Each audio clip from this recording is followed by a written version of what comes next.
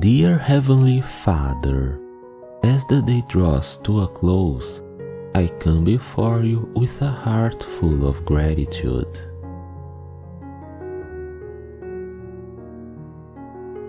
Thank you for the gift of this day, with its joys and challenges, and for the many blessings that have unfolded.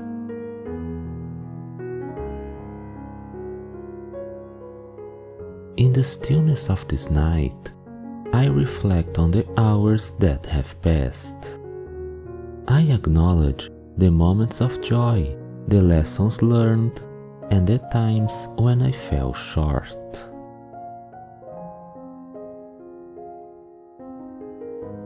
Your grace has been my constant companion, and I am grateful for your loving presence. As I prepare for rest, I ask for your peace to fill my heart. Calm any anxieties or worries that may linger and grant me the assurance that I am in your capable hands. Forgive me, Lord, for any shortcomings or mistakes of this day. May your mercy wash over me and lead me to a better tomorrow. Father, I also seek your guidance. Help me to learn from these days' experiences, to grow in faith, and to be a beacon of your light in the world.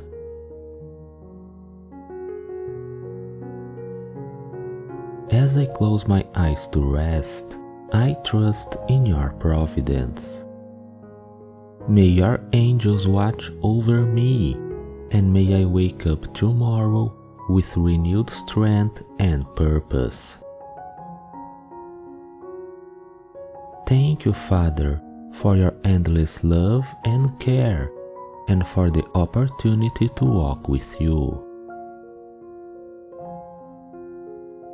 With your love and guidance, I am ready to embrace the night and look forward to the new dawn.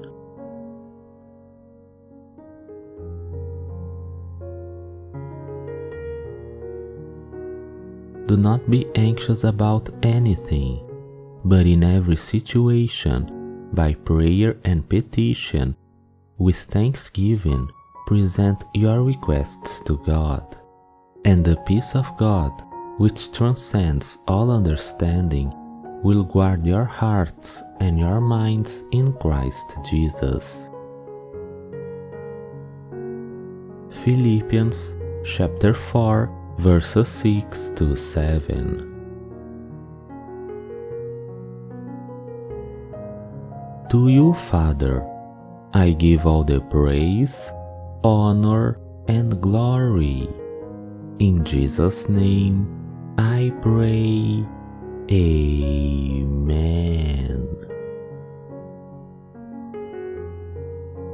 Thank you for watching. I hope you enjoyed the video. If you did, don't forget to like and subscribe to the channel. See you next time.